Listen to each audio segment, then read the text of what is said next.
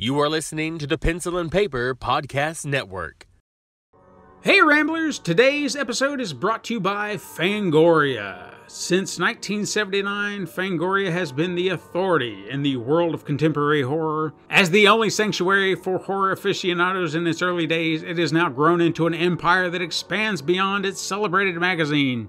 From t shirts, coffee mugs, beanies, enamel pins, there's something for every horror fanatic in your world, even if it's you. So head on over to shop.fangoria.com slash pencil and paper productions or use code pencil and paper productions at checkout to get 20% off your first order or magazine subscription.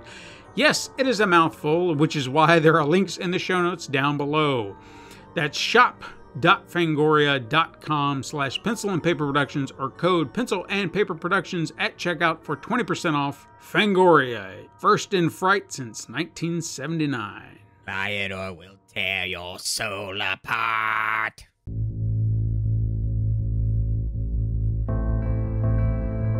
You're listening to the Horror Ramblings Podcast, the show about all things horror.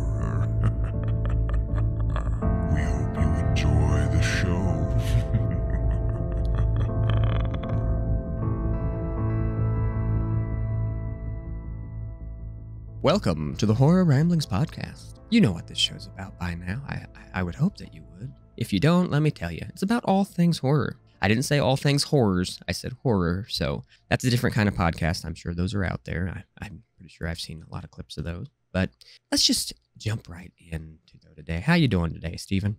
Doing all right. It's a gloomy, doomy day out there. Hurricanes are barreling through, and I'm hoping everybody's safe out there. But I've seen seen videos, especially in North Carolina. I feel sorry for those people. It's some some heavy shit, man. Yeah, it's um So it's it's scary out there right now. I, I know there's a lot of people posting up about what they're going through. I I'm happy to say that I haven't seen too many joking videos. Um, I, I have seen a few videos where people are trying to make light of the situation, but they're not like disrespectful videos or anything like that. It's like people that are are in it or about to be in it, making some making some slight jokes. Um, I saw a guy with a metal trash can that he had cut armholes out in, and he had an umbrella attached to it, and he was saying it was his hurricane suit and that he'd be safe in it. Um, oh, okay. it was kind of a funny video. Like the, the the guy that I the guy that made the video, he makes a lot of really goofy videos like that.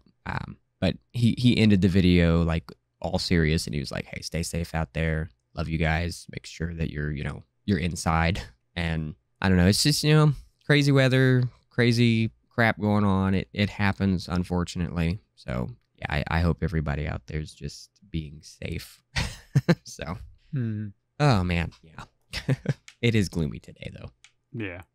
Any exciting news that you've seen? I'm a little bummed by Well- news lately, so Yeah, I don't know if I've got anything of uh, exciting news because I'm seeing a lot of cancellations. One specific that really pissed me off Chucky has been canceled, so there will be no fourth season. uh-uh. And Brad Dourif was apparently very, very excited for the prospect of season four, saying that he had been told by Don Mancini what f- season four was going to be, and he was he was ecstatic. He was like, "I can't wait." And then these fuckers have to pull the plug on it. But Don Mancini has said Chucky always comes back, so hopefully they can work that into a another movie, or maybe they'll they'll move the series. Who knows? I don't know. I don't know what the the deal is right now, but um, What just a little pissed. where was the series playing from originally? The series was,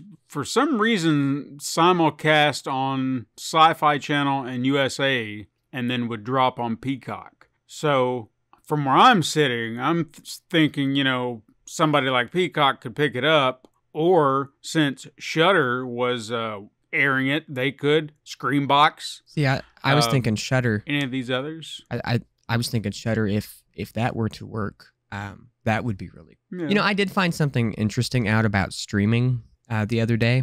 Uh, I, I was watching an interview, and it was, um, I believe it was the guy that did um, Invader Zim's voice. He was talking about Hmm. about streaming, and a lot of those streaming networks, what they do for like royalties for um, for the performers when they drop a series that's been off the air for a while or they make new content for it. They don't pay those people until the second month of streaming. Like Hmm. that's when they get the royalties from the second month and beyond. And the guy that did Invader Zim's voice, he's like, let's be real. If a series that you loved hit a streaming service, when are you going to watch it most likely? Within the first month that it's on that service. And I'm just Mhm. like, that's fucked up.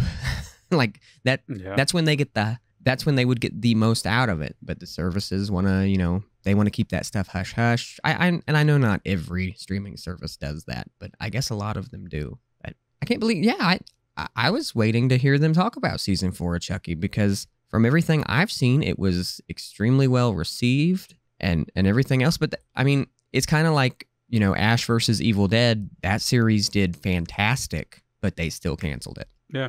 So this one got its three seasons in a in a can, I guess, however you want to put it. So I'm kind of pissed about that, but I'm hoping that this won't be the last time we see Chucky. I'm sure it won't be, but I'm still just bummed that the one avenue we had that was solid, they had to fuck us on. So and Brad Dourif also didn't he say that he was he was retiring from acting other than the Chucky stuff. So yeah. man, that's terrible. Anyway. Anyways, Yeah.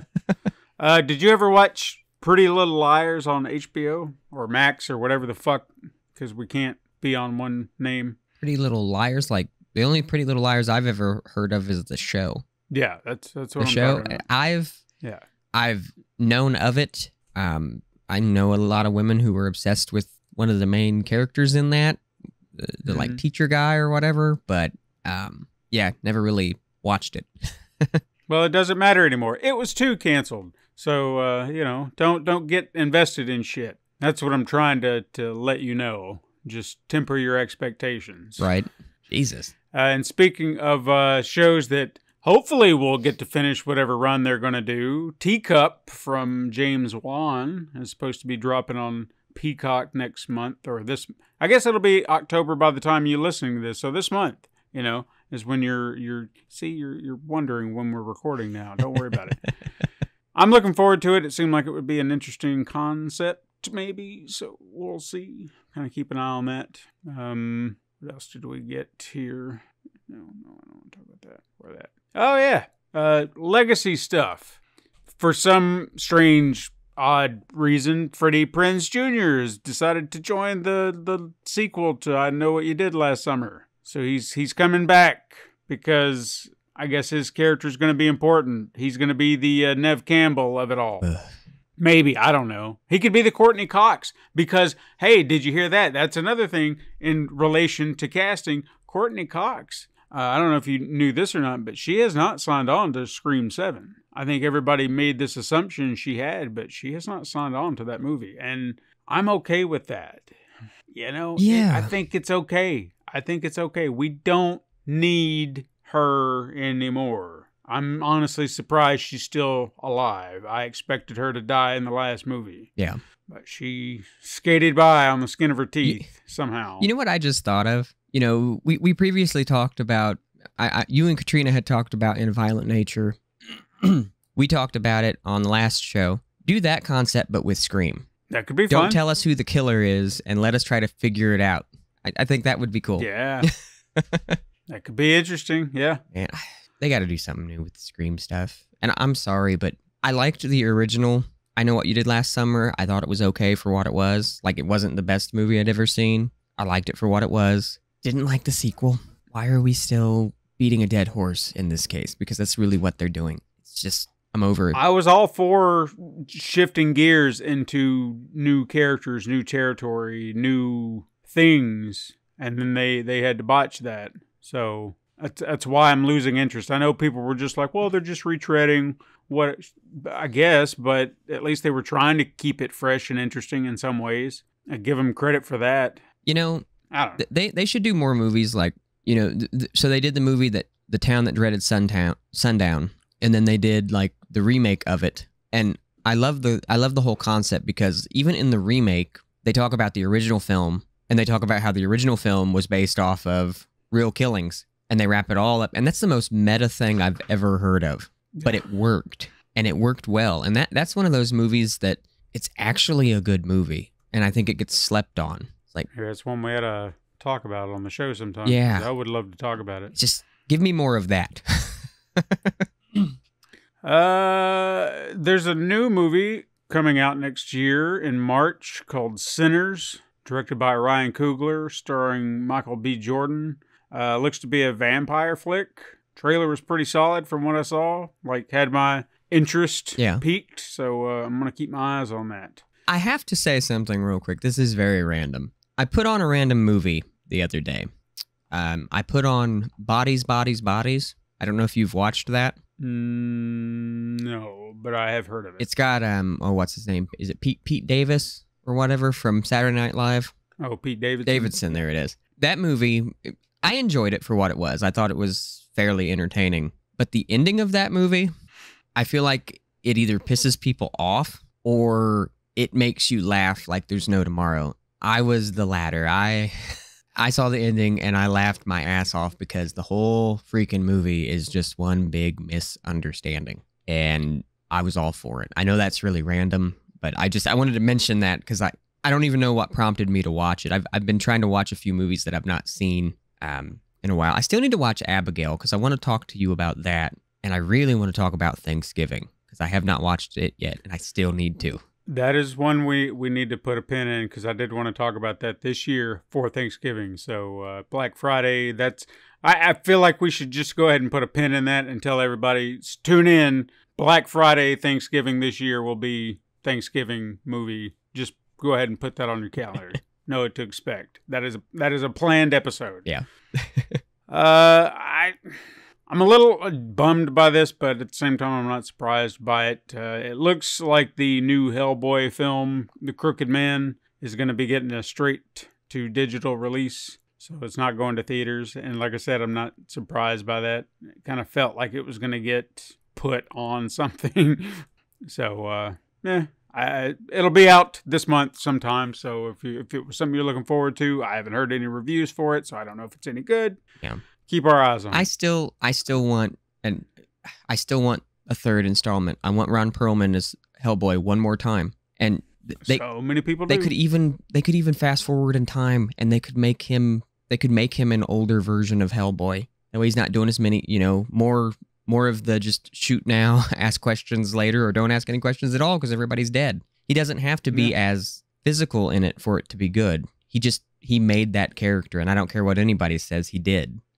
Uh, I, I know this is a movie you're gonna keep your eyes on uh, whenever it drops on a, I guess, a, a streaming platform. I don't know if this is in theaters or not. Let me double check before I say anything further, because I don't know if it's playing. It's in theaters or it will. Be, it's in theaters now. Yes. So uh, a movie called Azrael seems to be getting some good reviews. Uh, it's a silent i guess that's what you dialogue free that's that's what it would be dialogue free survival horror movie starring samara weaving so there you go we won't get to hear her talk but she she'll just sit there and look at you the whole time I, I guess. I, am cool with that. She doesn't have to say a thing to me as long as she's looking at me. Uh, speaking, of, we talked about James Wan a moment ago, and if I'd have seen this beforehand, I would have brought this up then. But apparently, he's producing a RoboCop TV series for Amazon. It could be good. it could be fun. Uh, I I hope they don't try to overthink it. Uh, in fact, I'm just going to say don't overthink it. You can kind of keep it simple sometimes, and shit just works. Because I'm gonna I'm gonna lay that out because I'm gonna come back to that later. Uh, what what are we doing here? Let's see. Du- du- du- No, no. Hey, uh, Alien Romulus will be on digital this month, and it'll be on Blu-ray and 4K in December. So uh, I'm something you're looking forward to. I'm very excited to see that. I, I wanted to go to the theater to see it, but I didn't get. To. Uh, the Killer Clowns game. Remember we've talked about that. The, the kind of the asymmetrical. well, What what do they call it? The four on PvP. Whatever. Four on one, three on two. However many who's fighting what. Anyway, they're they're adding characters to the game, and you get to play as Elvira and Tom Savini. How cool is that? Okay, I could get behind that. Yeah, it's uh, something you weren't thinking about, but it was like, why not? So random too. Just to, well, I mean, it's not that. Very random. uh, you know, it's random in the sense of it's like, but why? They're, Right. they're not connected to that franchise to my knowledge. I, I feel like they've become not so much Tom Savini, and I don't want to say that, like, I don't mean this disrespectfully. Elvira's just become kind of like a parody of herself in, in a sense. Hmm. It's like you, you see her pop up everywhere. I mean, I was at Walmart the other day and she had, they had these figures of her that were just very random. I'm like, why does anybody need a Elvira action figure? Like, I thought about it for a minute and I'm like, well, it is anatomically correct. Maybe that's why somebody would buy it, but you never know. Perhaps. uh, I hope I'm going to say her name right because I always feel like I, I'm never going to say it right. Is it Maika Monroe? She was in the, the It Follows. Is it Mike or Mika? M. Mika. M A I K A. Micah. Micah. Make who you know who she is. Anyway, she's going to be starring in a, a remake of The Hand That Rocks the Cradle. Does anyone remember that movie? I can get behind that. I can get behind that. I don't remember if anybody remembers that movie, but I remember that movie. There was a big deal made about Yeah. that movie because it was like, my God. Ooh. Uh, I know this is probably not something people also wanted to hear, but I know we brought it up on the show quite a bit, and I'm just uh, sorry to say that I've been hearing a lot of bad reviews for Salem's Lot, saying that it's just an empty, shallow remake that doesn't do anything new, original, or exciting. Just kind of like, eh. And the So tra- that's and the trailers for it made it look. So- I'm still gonna watch it. it's just disappointing, you know, because we've been waiting and we didn't want to give that asshole Zaslav uh, some credit that he was can because you're going to release this, but you're not going to release that Coyote versus Acme f- movie that sounds like a fucking blast. right? Fuck you, David Vaslaz Zavslav, whatever the fuck your name is. Uh, there's a new movie coming on Netflix that sounds interesting, but I also feel like it sounds like something we've already done recently. Uh, movie's called Time Cut, and it sounds like a Back to the Future meets Scream. But I felt like we did that with time. Was it Totally Killer? Yeah, totally know, killer. Yeah, So I don't know what this is going to do any different. it's an So, uh, interesting. I'll say this: it's an interesting concept, the whole killer and time travel thing. I'm good with Totally Killer though. Like I really enjoyed that movie. That movie was a lot of Yeah. fun. So if they're going with if they're going with some more like serious angle for it, maybe I think it would be cool to see something where people are stuck in a time loop Hmm. because the killer just wants to keep toying with them and killing them in different ways and they have to figure it out. But that also kind of feels like the whole concept of Happy Death Day. Hmm. You know, it's they're good ideas, but it can quickly become a gimmick that's not good. Yeah. I still want to see the third Happy Death Day, and I don't see why they can't get that shit off the ground. Blumhouse keeps saying, "Oh, we'll we'll do it," and Christopher Landon's on board. They don't want to fucking do it. Oh, y'all. Whatever. People want to see it. Damn it. Yeah. Uh, Mike Flanagan's Life of Chuck has finally got a uh, distributor, Neon, which is a name that I, I've started to take note of. They're starting to to do some interesting stuff. Like they, they I think they did uh, or released Longlegs, which is that weird Nicolas Cage movie. I feel like that's just Nicolas Cage on a typical day. Yeah. I mean, we were trying to be nice about it, but uh, I'm excited about something that I probably will not get to experience. And you're probably asking yourself, why not? You could do it. I could, but they always do these things on very inconvenient days. Uh, but uh, the Texas Chainsaw Massacre is coming back to theaters for a limited engagement, 50th anniversary, 4K remastered picture quality, sound, the whole works. I would love to see that movie in theaters. I really, really would. But it seems like the days are Wednesday, and I guess I could go on the Sunday, but it, it didn't seem to be like Sunday at during the day. It was like Sunday in the evenings, and I got to work the next day, and I don't want to be out in Nashville middle of the night on a Sunday. See the problem? They don't do them nearby. anyway, uh, another thing that I was excited about because Fantastic Fest is going on right now. I think that's what it's called. Is that right? I think Where they do all the the horror sci-fi stuff. I think so. I think that's right. So uh, there's some movies that are getting some sneak peeks, and one of the movies that got a sneak peek is Mr. Crockett, and apparently they didn't do such a good job. Mm. Which is disappointing because I've always been worried about that. You know, you have such a solid short, you know, like In a Violent Nature could have been. and then you expand it to a feature length film, which in a violent nature shouldn't have been. And then you get something like this. This is what I'm talking about. This is my fear for things sometimes when you, you see these things adapted is that they're not gonna they hold their weight proper. So hey, you need to go to Spirit Halloween and get yourself some Killer Clowns neon signs. Oh, they got neon signs this year. Yeah, they've got a Killer Clowns neon LED light up sign. It's like their little uh, pew pew pew pew guns. Oh, that's cool. Yeah, so go go get you one. Uh, what else we got? No. Yeah, no. yeah, no, I'm gonna bring that shit up. Okay, so Hilary Swank has joined Yellowjackets, yet her ass can't come to Cobra Kai and acknowledge that she was the next Karate Kid. I'm just saying. That's fair. That's very fair. Yeah. Why why can you not just be like, hey, I remember Mr. Miyagi. I'm the one kid no one remembers, but I exist. Yeah. Uh, anyway, uh, Arrow for some reason, and I, I was a little bummed by this because I thought when I heard about it, I was like, oh, cool, they're gonna finally do a, a 4K set, and it's not. Uh, but Arrow is releasing, and it only seems to be in the UK for right now. A they're doing their own Blu-ray 4K or Blu-ray, not 4K, sorry, set of Critters, a four movie set. That's what I was trying to say. the four got lost in translation, but all four Critter mo- yes, four, four Critter movies released by Arrow Video in the UK in this box set uh, will be released in December. So if you're in the UK and you want that, there you go. But not in 4K. It is only Blu-ray. I'm sorry I said 4K. I got got ahead of myself. It's for movies I'm on Blu-ray. I'm still waiting for them to be on 4K, and I know they will be because because shout right now they're they're cleaning house. I don't know. I've noticed that when they're just like everything's going out of print, and it's like, gee, I wonder why. Because you're gonna have to repackage it in a 4K. Yeah, so I'm watching right now. I know what's happening. uh, did you know that there's a movie out uh, called, or there's about to be? I don't know if it's out right now or not. It's called. I don't even want to say it aloud. Crack Coon.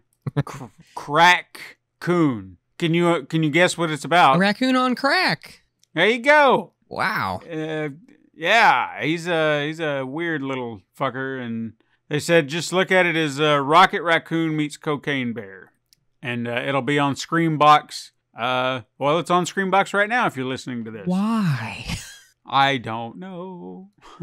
Oh, that's like the the sloth horror movie. Slotherhouse, I think, is what it's called.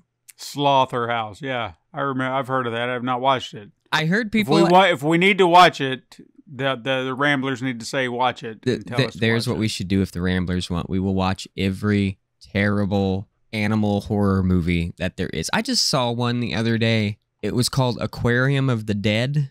Oh, I have heard of that, but I've not watched it. But I've heard. It's of it. it's like zombie fish and sharks and shit in an aquarium, and I'm like, uh huh. Uh, okay, whatever. Uh,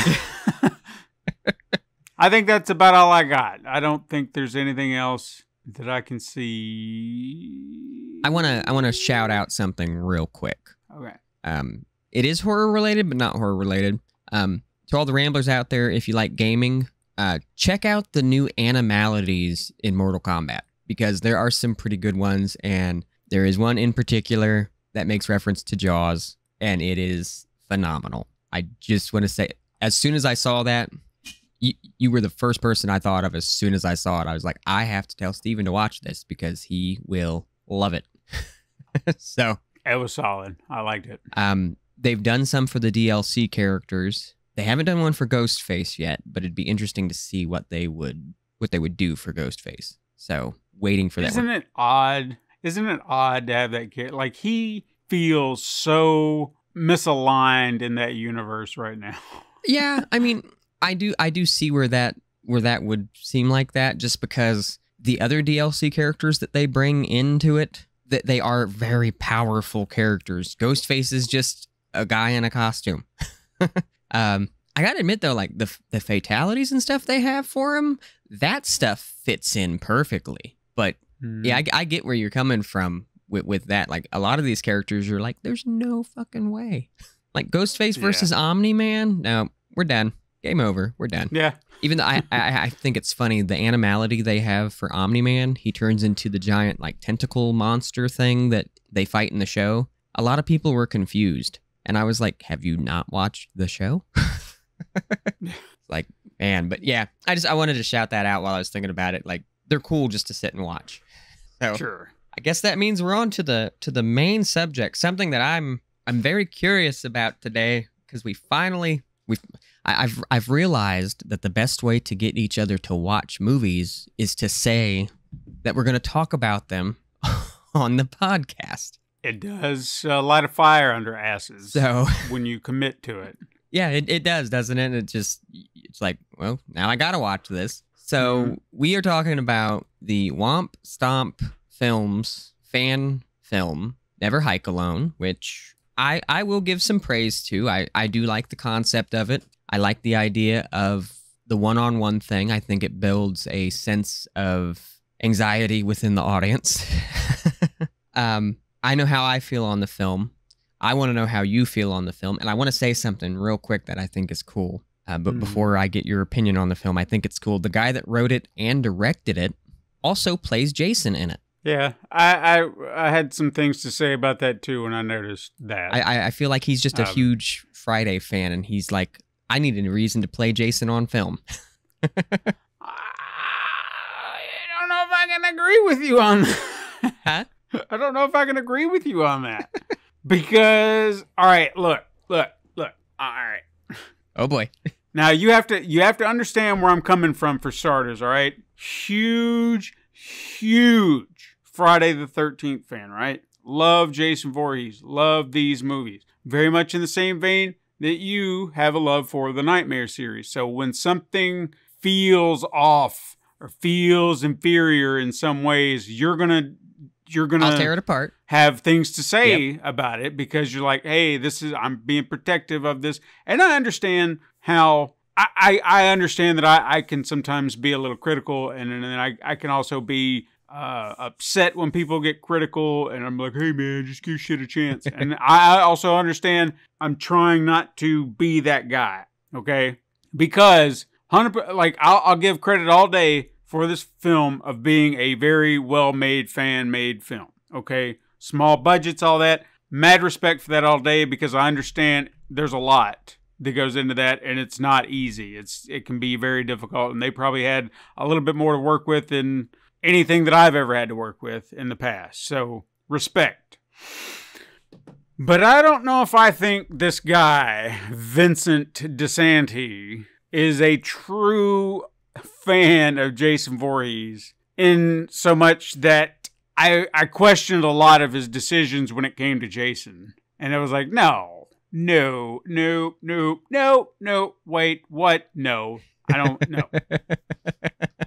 Those would be the arguments I would be having in my head that just didn't set right with me. Okay. Um, so I don't even know where to begin. Like, where do you want me to begin with that? Well, let, let me say something real quick because some of the movement, some of the behavior of Jason, I can understand where you're coming from. One thing that I was thinking about when I was, because I, I rewatched, it, it'd been a while since I watched it, so I rewatched it last night to give myself like a refresher. I I was up pretty late last night, so the the way that the film plays out to me, it's almost like it's it's almost like in Freddy versus Jason, how everybody just kind of forgot about Freddy. It's like everybody just kind of forgot about Jason. They forgot about Camp Crystal Lake. People stopped going there.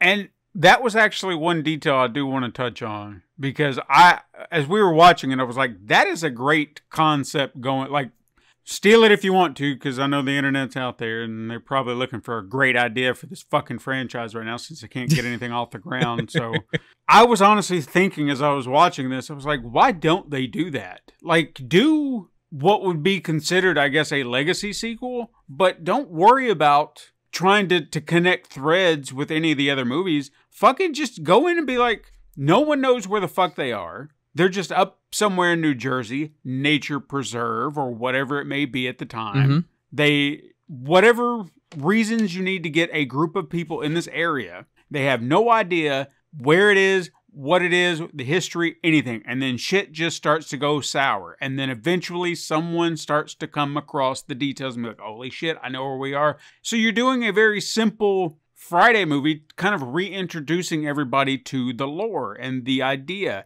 In fact, we even thought this would be a great idea. And I don't know how the fuck you'd pull it off in this day and age, other than digital trickery. Yeah.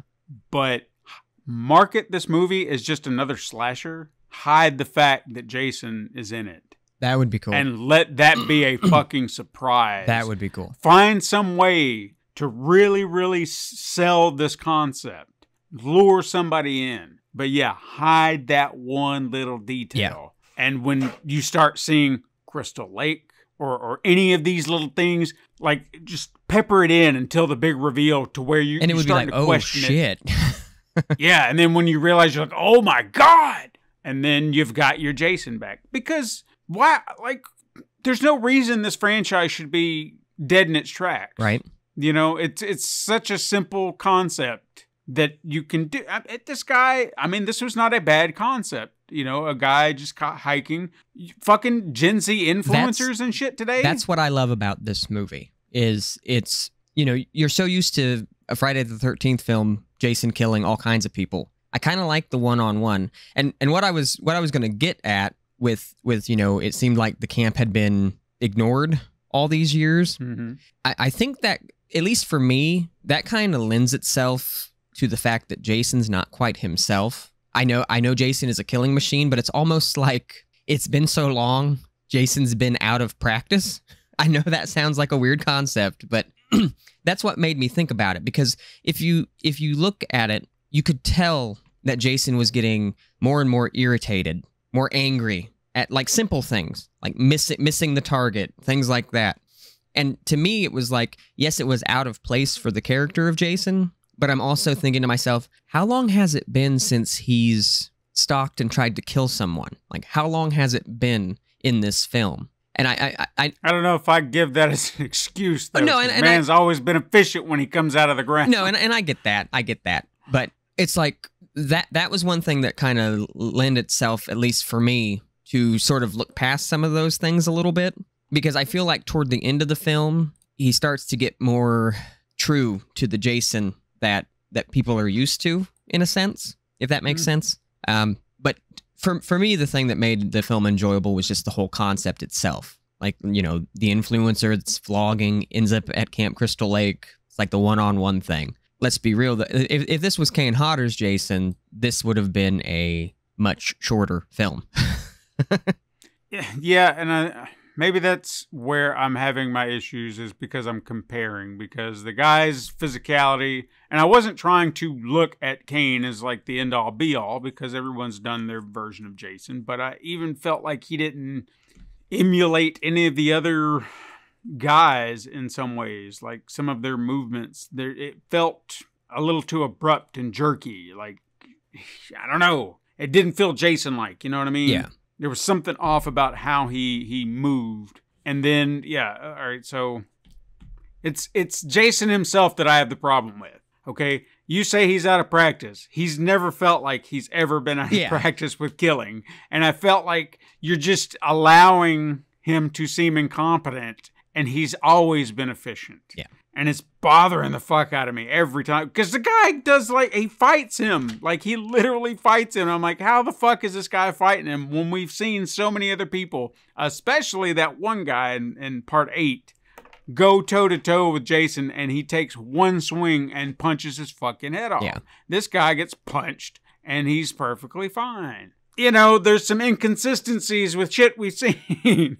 That's my problem you know And see, the, the the thing about this movie too is you almost wonder when this movie takes place in a sense, like where it would fit into the timeline. Like, is is this something where Jason's been alone since like the first movie? Maybe they haven't taken the other movies into consideration. Like, I just kind of assume this was like after Freddy versus Jason. So give it what, a good 10, 15 years. And he's just been left alone ever since. Like they have finally just said, leave that fucking shit alone. and like like I said, I, I try to justify justify things. I, I think of ways to you know justify things. he he is a rotting corpse. I mean, that's what Jason pretty much is.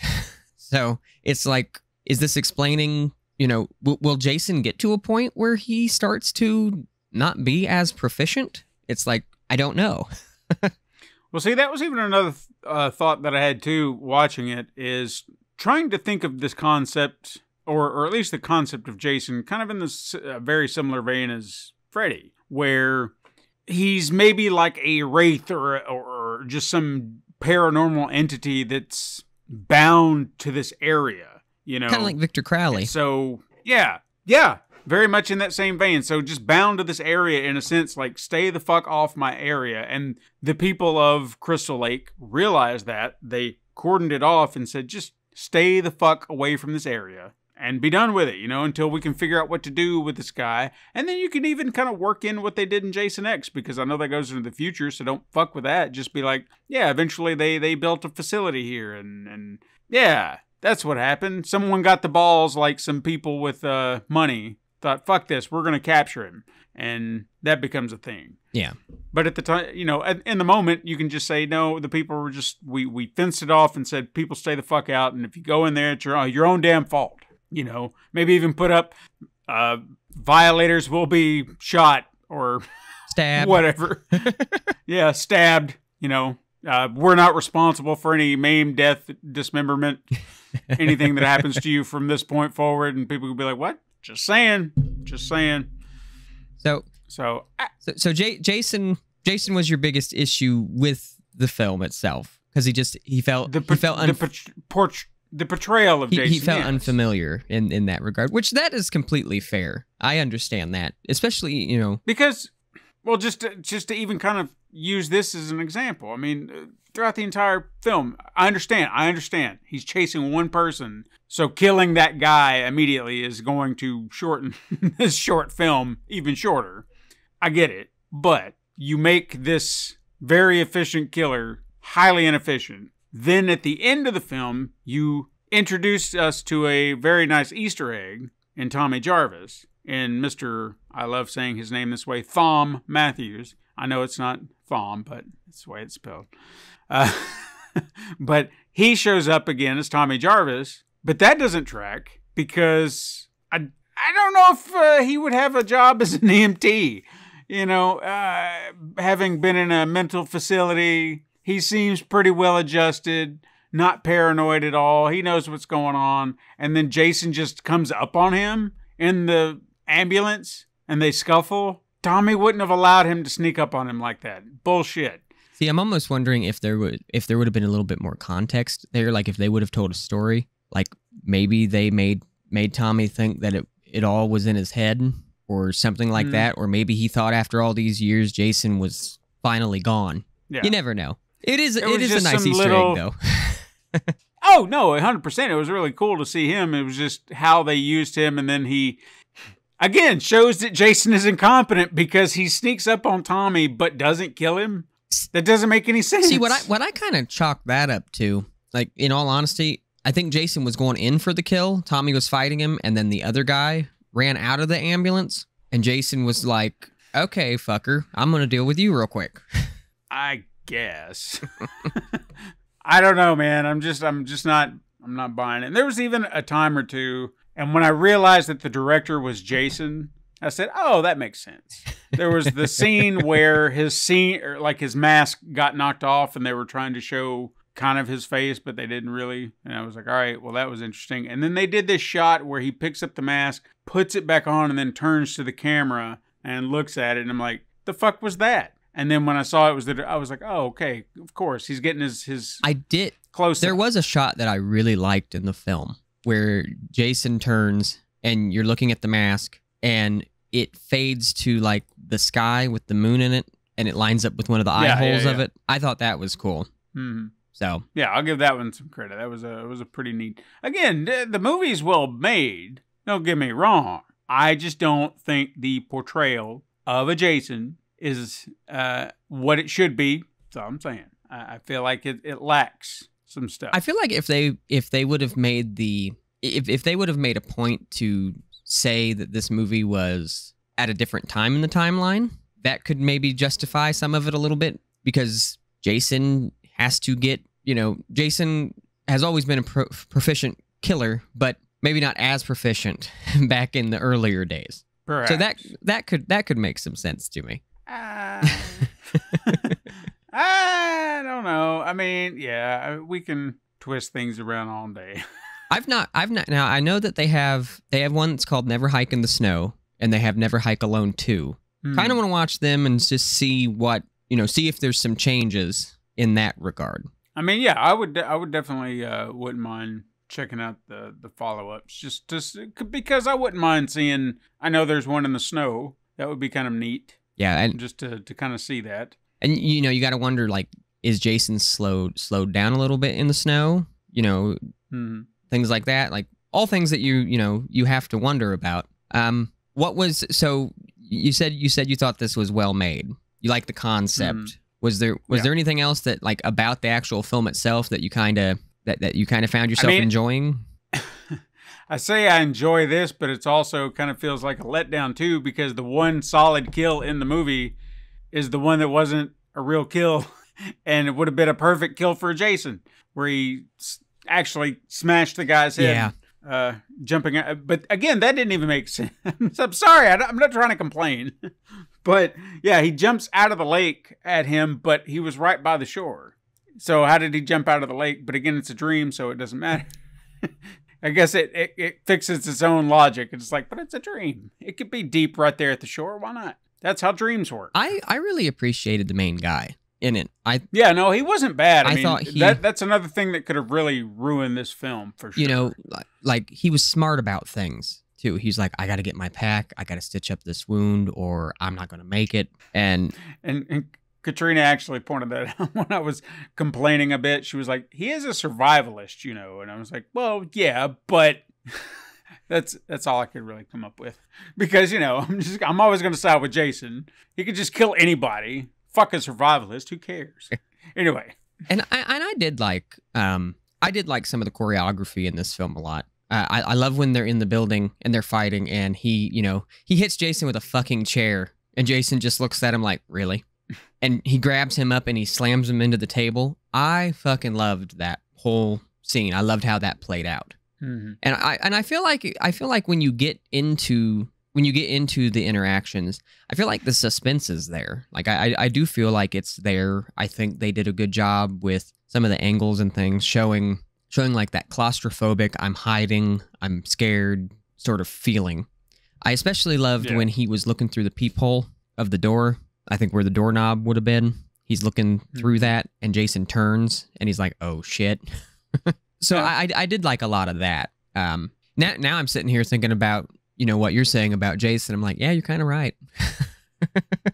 I mean, you know, I guess there are some cases to be made. Like you said, they they could have been playing with the timeline a little bit. We don't know if this is a zombie Jason or the uh, Mountain Man Jason. I mean, I would assume the dead Jason because he The face and the- everything. yeah, and even like his hands looked very thick. You know, I don't know if you noticed that. They were like too, thick and like yellowish, Yeah, and and that's I don't know. that's kind of where my like train of thought when when he when he hits him in the neck with the axe and he pulls Mhm. the axe out, the blood doesn't look right either, and you're like, okay, this is like decomposing Jason who's not like that's how I looked at it. I'm like, this is a Jason who hasn't had to deal with anybody for a long time. This is a Jason that's not at his best. Mhm. and you know yeah i'm i'm used to jason like okay you're done man but if this if this is that form of jason where and you know that would be an interesting concept to see too see a jason that's been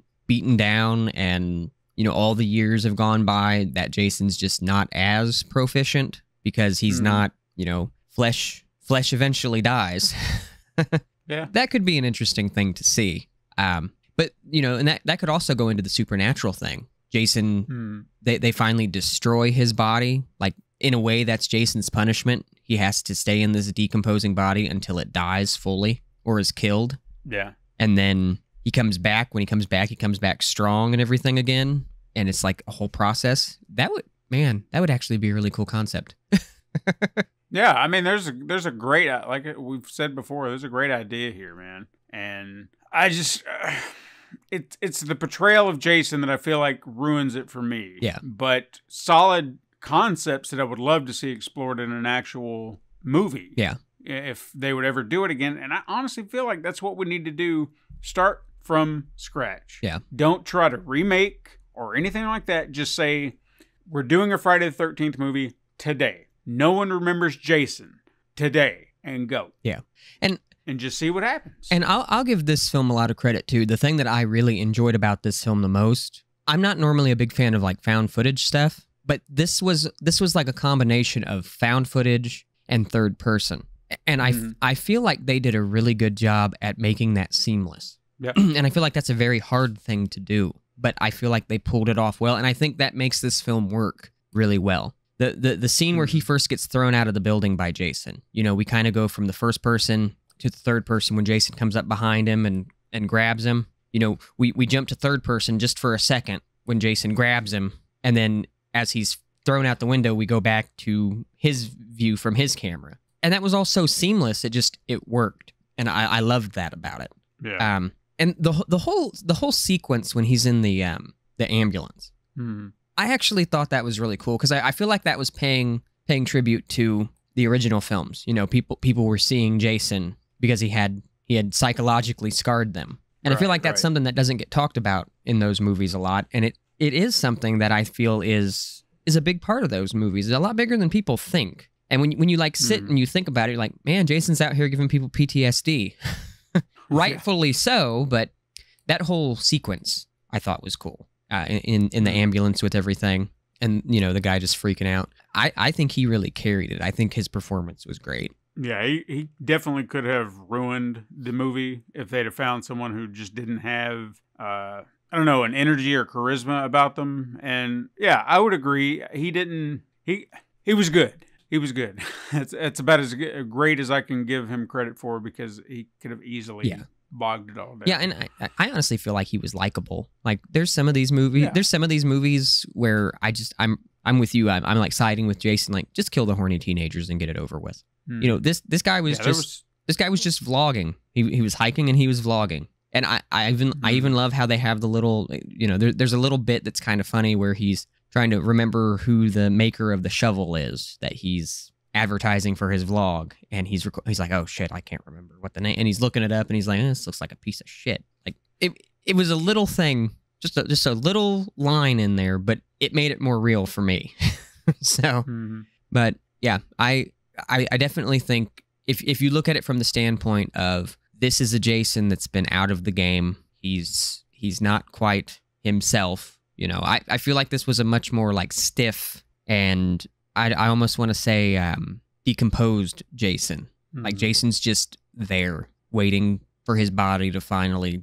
give out. He just wants to be left alone. And then some punk shows up and he hasn't dealt with anybody in so long. He's like, I'm gonna kill this guy. And when that doesn't work, you know, I feel like we start to get some some image of the Jason from all of the other movies because I feel like toward the end of it, that's where we start to get a little bit more of a extreme Jason. And then you know there, there is the thing with with Tommy and everything that kind of throws you off, and you're like, what? But yeah, overall, I I just I feel like they did a, a decent job making you feel like you were alone in the woods with a psycho Mhm. and I, I feel like that's what they were what they were going for. I know that the Never Hike in the Snow is like 30 minutes long, I think, Mhm. and then Never Hike Alone 2 is like an hour and 10 minutes or something like that.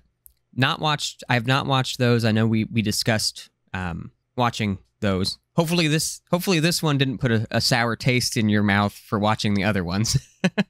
No, I mean, I, I want to give them a, a shot. I mean, maybe they worked out their kinks, uh, but if the director is still trying to play Jason and he's not learned from him from what he did, then I don't know if I can. Uh, I don't know. We'll have to wait and see.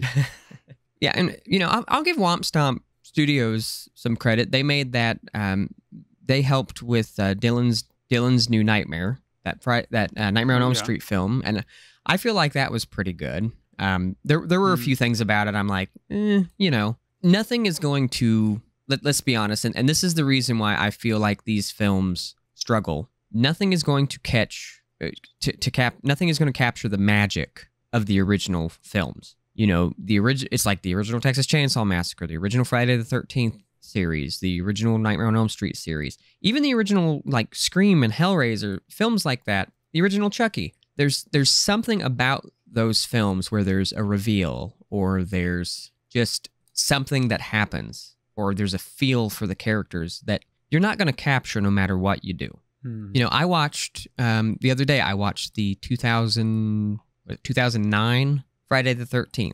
I put it on. I was just like, yeah, I'll, you know, I'll watch it. There were a lot of things that I liked about it because there were different concepts that I never really thought about. But at the end of the day, I'm like, this isn't the Jason for me. Sure. It's just like with, and I- I'll say this now the Nightmare on Elm Street remake. I know I shit on it all the time.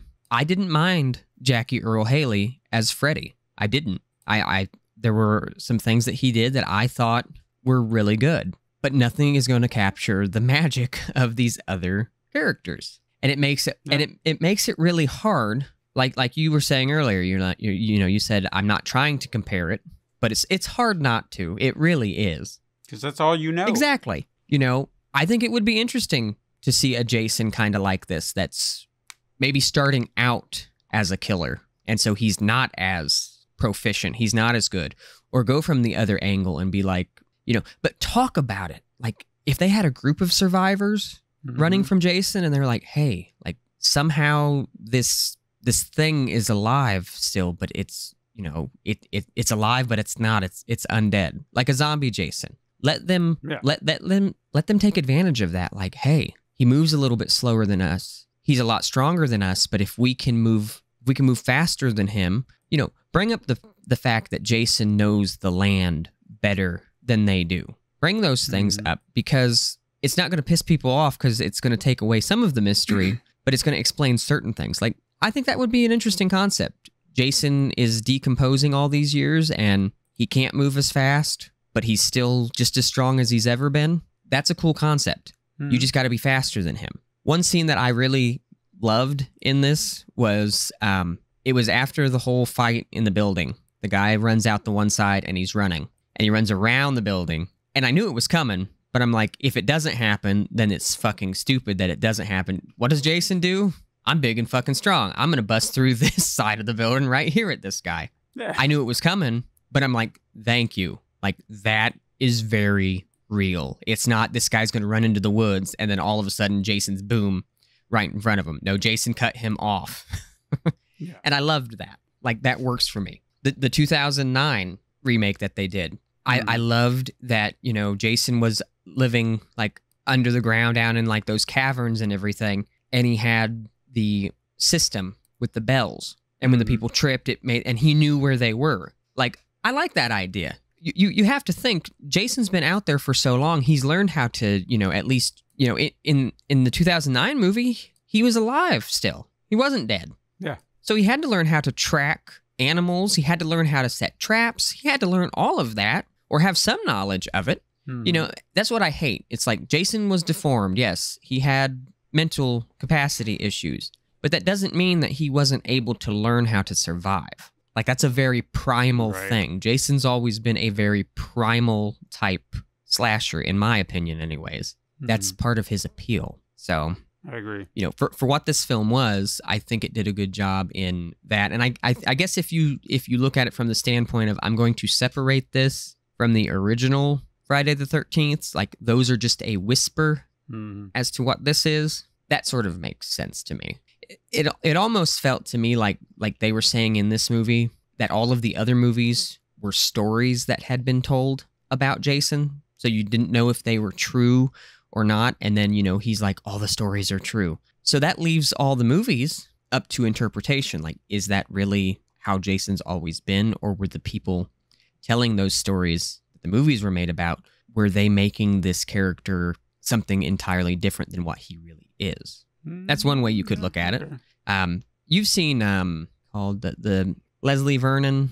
Have you seen that slasher film? Like the, the I can't think of the whole name of it. I know of it, but I've not seen So it. so so in that movie they talk about all of they, they talk about uh, Michael Myers, Freddy, and Jason, and they talk about Hmm. them all as if they were real slashers, and that the movies were made because they were real slashers and they're like you know the the acts that Freddy committed on Elm Street were were so terrible that it it caused nightmares for generations to come. Like they make these little you know whispers of them. Like they say that Mhm. they uh, like for Jason they said you know that Jason was such a brutal killer that um, many people believe he still haunts the camp you know where where he where he was finally slain. And I'm like if you sort of look at it that way where it's like a whisper in time I think that that helps with it a little bit. But again it is so hard to separate that stuff especially when you're when, when you're a fan of something you know?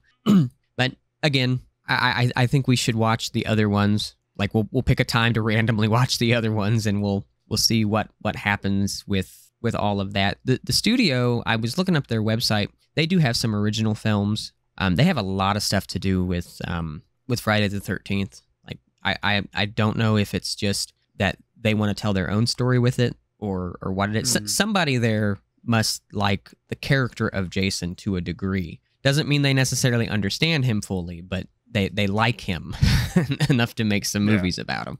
But you have any other thoughts on on it? I figured i'd because I, I really want to know your like your your full opinion. I it sounds like you, you liked the concept. You liked the main guy to a degree. Jason was your biggest takeaway. Was there anything like in particular you wanted to see that you didn't see Uh, not really. At least nothing I could really think of. I did have another complaint that just occurred to me. Is the like Jason sounded very heavy. Like he was stomping around like fucking RoboCop the entire time. that kind of bugged me a little bit too, because I know he's supposed to be big, and I guess that was their way of trying to give him some heft. But I didn't feel like his footsteps needed to be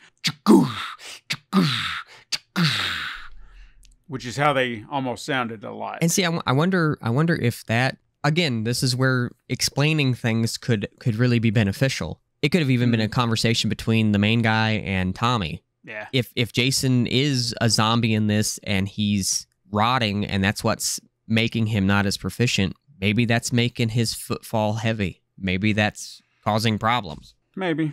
I don't know. I don't want to assume. and again, I don't want to sit here and bitch about it or anything like that. I'm sure this is somebody's favorite thing.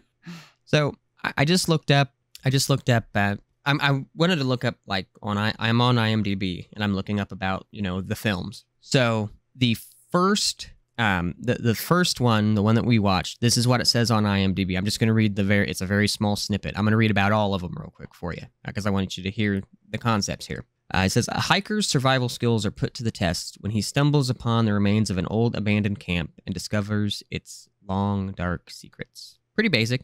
Hmm. The second one, 20 years after the last sighting of Jason Voorhees, Crystal Lake resident and former victim Tommy Jarvis still lives with the haunting notion that Jason will one day return. He's the and the other guy is in it. So the guy from the first one is also in this one. Hmm. So I'm I'm guessing that the second one probably gets a little bit more into the history because it looks like um Thom, as you say, Thom Matthews is um he's the, he's at, at the top of the top billed cast. On the first one, he wasn't. On this one, he is. So I'm assuming he's a bigger part of of this one. Maybe we would get some answers to some things that we didn't get answered maybe in this first one. Hmm. And it looks like so never hike in the snow. See, they they do a little bit of a time jump here. They're jumping around because this one came out. So Never Hike in the Snow came out in 2020. But here's what it says: three months prior to the events of Never Hike Alone, that follows the strange disappearance of Mark Hill, a Crystal Lake resident who went for a hike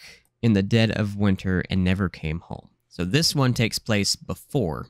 Okay. So this might give us, and they've got this really cool picture. I'm actually, it's something I feel like they don't show enough. I know they've kind of touched on it, but they have Jason with the bow and arrow in one of the pictures for Okay. it. I could get behind that. I think that's kind of a cool concept. You would think that Jason would know how to use that. Again, you would think that he would, you know, have some general idea. And it's the same thing. They have um they have Thom Matthews as the as the top billed. So he's in all of these. Like they they brought him into all of these, Okay. which is kind of cool. And maybe Yeah. maybe if we may, maybe if we were to watch Never Hike in the Snow since it takes place before, maybe maybe he had thought maybe he had taken Jason down and Never Hike in the Snow and he thought Mhm. he thought I finally did it. He's finally gone. and then he's surprised by the fact, and you know that could maybe explain why Jason's the way that he is in Never Hike Alone. Maybe something happened in Never Hike in the Snow. Sure. Of course, it came out after, so maybe they got a little bit of pushback for Never Hike Alone, and they're like, "Let's fix a few things that we we didn't have right." And that that might be it. Maybe if I watch those and get a little context and be like, okay, well then that that tracks, and maybe it fixes everything for my brain. We'll we'll have to figure that out because I, I would be interested to see if if if your opinion worsens or if it changes a little bit for the better. I, I'm looking at the like the the scores. I don't try to go off of the scores on IMDb because I've seen some movies that they give terrible scores and I love them. Um, Hmm. Never Hike in the Snow has a 6.7. Um, the first one has a 6.8, and the second one has a 6.8. Okay. So they have they have So I mean, they're liked. It's not like it's a, a bad like no, no, not like people don't enjoy these these shorts or anything. Yeah. I th- I think if you um because these movies aren't that gory.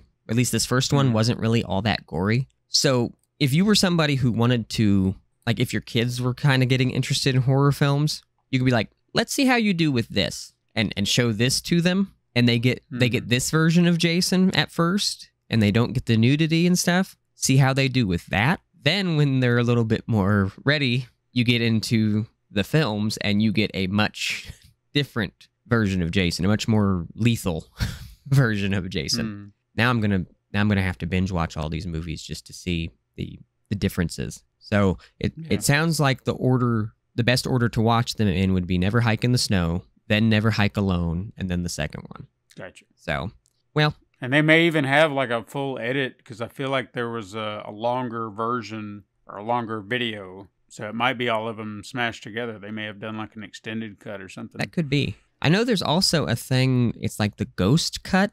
It says That might be it then. Yeah. Um, which you know, I I'm I'll say I'll say it. I think um, Womp Stomp Studios has taken some chances on some things. You know, they even did um, like I said, they did Dylan's New Nightmare, and love it or hate it, it was something different. Mhm. Um, but I, you know, I'll give this studio credit. They take chances. You know, they they they do what they what they think is best, and that, that's the thing about it. You know, love it or hate it, they they came up with an interesting concept. I would be really cool with seeing that in a movie. Of course, if if I ever got to see a like last Nightmare on Elm, not Nightmare on Elm Street. Here I go talking about Nightmare on Elm Street.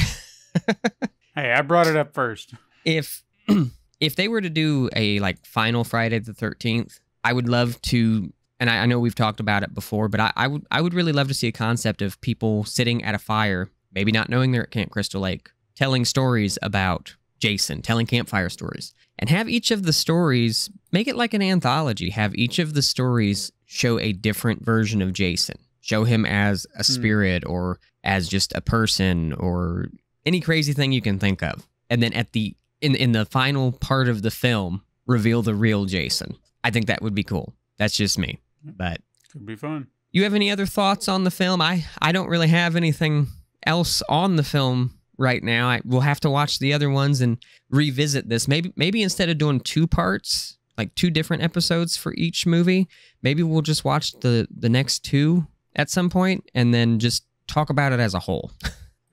Yeah, that'll work. But if, if you don't have anything, I, I don't have anything else. So No, uh, that's about all I got on it. So, Ramblers, have you seen Never Hike Alone? What'd you think? What your thoughts? Did you like it? Hate it?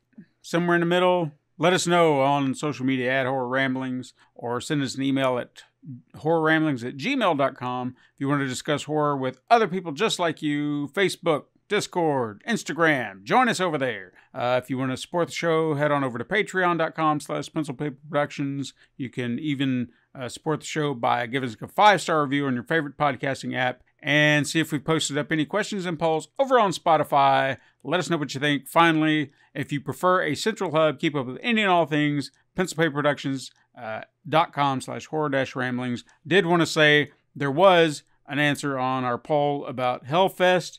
Love it or hate it. Uh, one one vote for solid, so somebody loved it. So uh, thank you for voting, whoever you are out there in the, the world. Thank you for voting.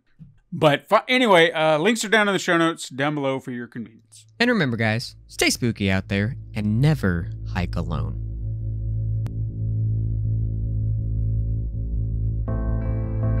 This has been the Horror Ramblings Podcast.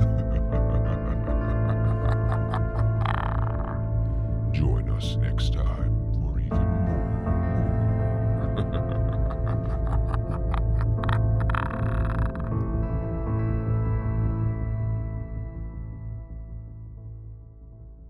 This has been a Pencil and Paper Podcast Network production.